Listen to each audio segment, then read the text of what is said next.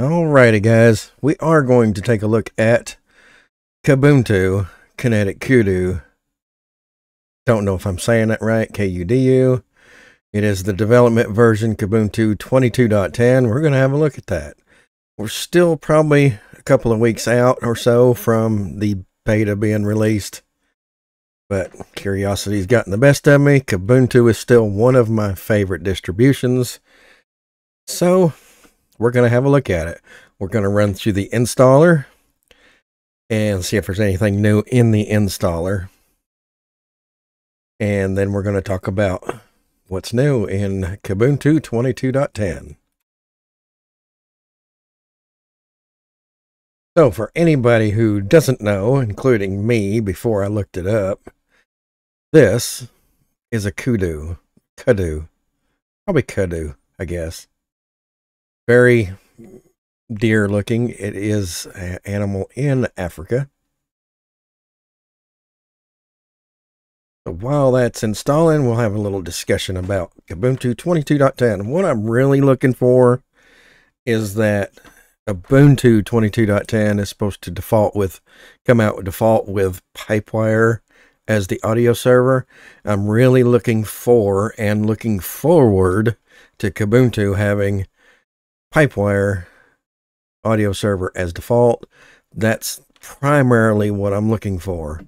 I'm also really hoping for the kernel to be on 519. The last time I looked at it, it was still on 515.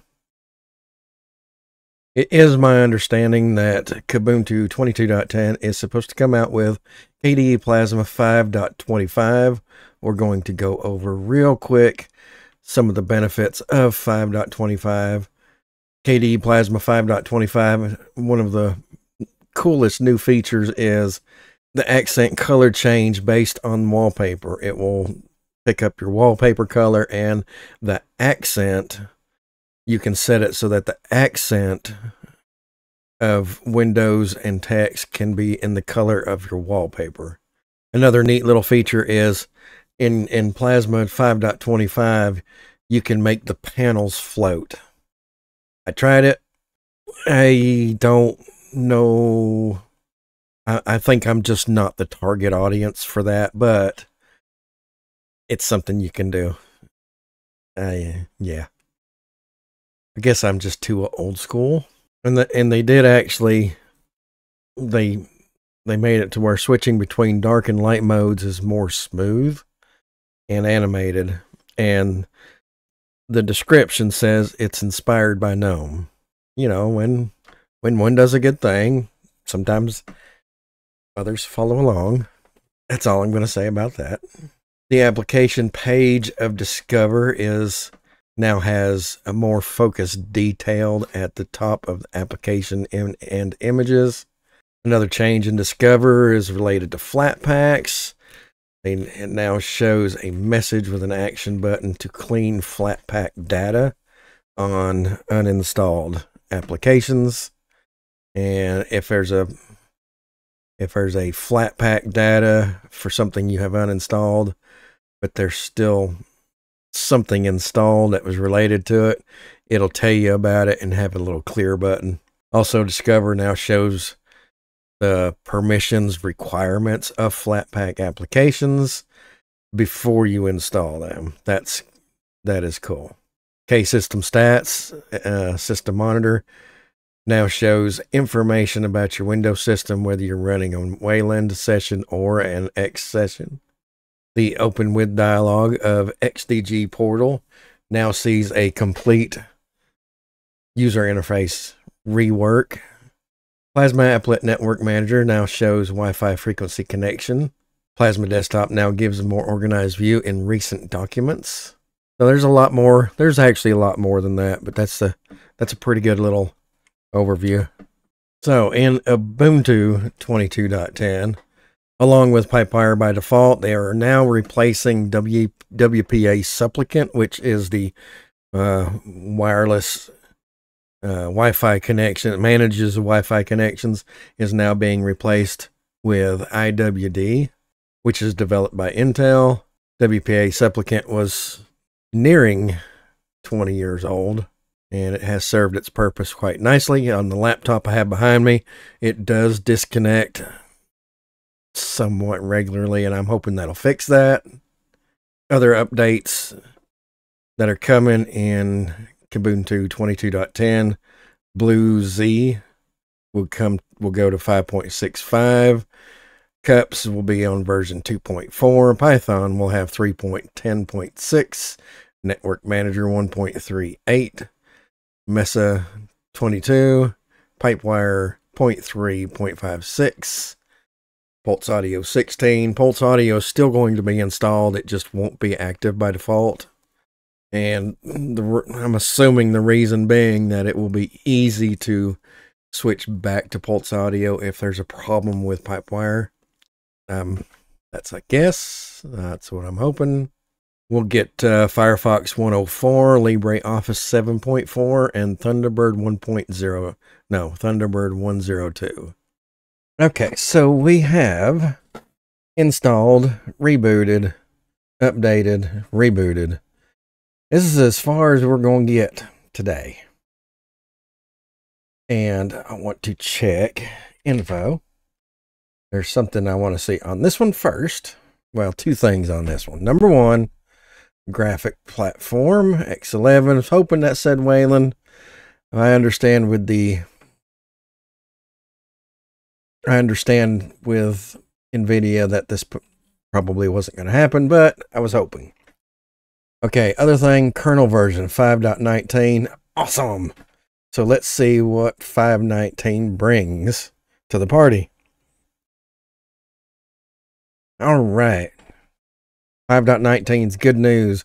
Number one, ARM related performance boost. Number two, fixes Intel overheating and battery drains. Number three, LoongArch CPU architecture support. Number four, graphical improvements. This one's actually pretty extensive. They don't say much of it here, but it's actually pretty extensive. It does say this involved nearly half a million line of code. Number five, uh, adds big TCP support, which allows for larger TSO GRO packet sizes for IPv6. Network speeds can now reach 400 gigabytes per second. Uh, also adds user space component for managing multipath TCP. Network drivers have also received improvement, specifically Qualcomm, Realtek, MediaTek, newly enabled accessories, Keychron's wireless mechanical keyboard now has working function keys. Len Lenovo ThinkPad X12 TrackPoint, Wacom driver, better compression. Okay, that was a quick little short summary. Uh, 519. I know there's a lot of uh, graphics card improvement for like gaming. So, you know, 519 is good. Uh, what else was we wanting to look at? So the kernel, 519. Graphics platform, X11. Disappointing. Uh, let's see if Pipewire is running. Drum roll, please. Pactal info. I did not spell that right. P-A-C-T-L space info is not found. Interesting. That's actually really good news. That's a Pulse Audio controller info. That's one way you know if checking that. That's actually really good news. Okay, so if you don't have Pulse, Pulse Audio installed, apparently it's PS hyphen space hyphen E pipe, which is that pipe grep pipe wire. Outstanding. Pipe wire and pipe wire Pulse. If you see these two things, you are running pipe wire. Outstanding. So we do have Pipewire by default in Kubuntu 22.10. Outstanding. I'm very happy. Wayland by default would be good too, but I know NVIDIA is a problem, so we'll take what we can get. Okay, so we are going to check uh, the programs that I use the most. I want to check what version they're going to be on. So to do that without installing, all I have to do is either search or show. apt show, GIMP. Package GIMP version 2.10.32. Cool. Inkscape. I can't use the snap and that's all it's going to show me, I think. Well, let's try it. Show Inkscape. 1.1.2. It's not the snap, snap version, but it's also not the current version. Disappointing, but uh, I can't use the snap version because of InkStitch, and I have tutorials in several places right now on how to PPA Inkscape and get the most recent Inkscape and InkStitch. That's also in one of my videos. What else? Kdenlive. apt show Kdenlive. I use Kdenlive for my video processing for 22.08.1. Good, good. I'm not sure. Let's see what version I'm on. 22.08.1. Nope. About Kdenlive 2208.1. That's the same one. 22081. Wow. Kubuntu will be released with the same version that Arch has right now in Kdenlive. That is cool. I don't use much else. OBS. apt show OBS. Is it uh shoo, OBS server? It's not OBS server, is it? OBS apt search OBS.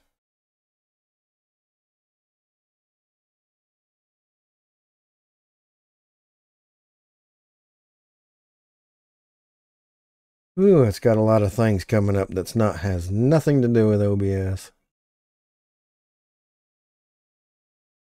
OBS Studio. apt show OBS Studio. That was just a brain fart on my part. Version 27.2.4. And I am on 27.2.4-2. Nice. That's uh that's pretty good. You know what? Kubuntu is shaping up to be Kubuntu 22.10 is shaping up to be awesome. Love it. Love it. I love I it's still one of my favorite. If if Manjaro went away tomorrow, I would I would absolutely be back on Kubuntu. Probably.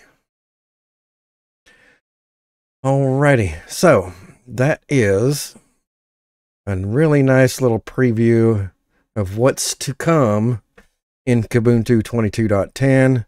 Beta should be in a couple of weeks, and uh, full release is next month. And shaping up great. I mean, you know, disappointing on the Wayland. No, yeah, disappointing on the Wayland.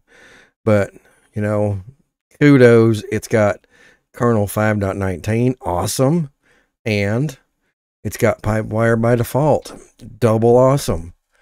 And everything it's right now, everything is looks like it's fully up to date. Like on the edge of where Arch is right now. That's cool. Way to go, guys. Uh anyway, if you like what I do here, please like and subscribe. And until next video, thanks for watching.